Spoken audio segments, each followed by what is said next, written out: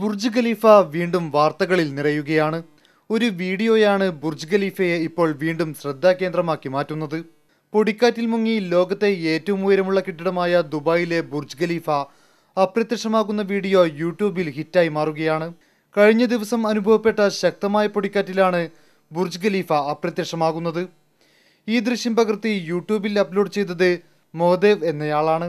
പതുക്കെ നീങ്ങിത്തുടങ്ങുന്ന പൊടിക്കാറ്റ് കെട്ടിടങ്ങളെ അപ്രത്യക്ഷമാക്കുന്ന ദൃശ്യം കുറച്ച് ദൂരെ നിന്ന് ഒരു വാഹനത്തിലിരുന്നാണ് പകർത്തിയിട്ടുള്ളത്.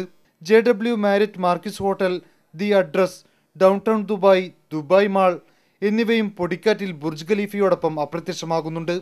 ഇരുപത് സെക്കൻഡ് ദൈർഘ്യമുള്ള വീഡിയോ മുപ്പത് ലക്ഷത്തിലേറെ പേരാണ് കണ്ടിരിക്കുന്നത്. ശക്തമായ പൊടിക്കാറ്റും മഴയുമാണ് കഴിഞ്ഞ ദിവസം യു എയിൽ അനുഭവപ്പെട്ടത്. Sumit Nair Jeevan news Dubai.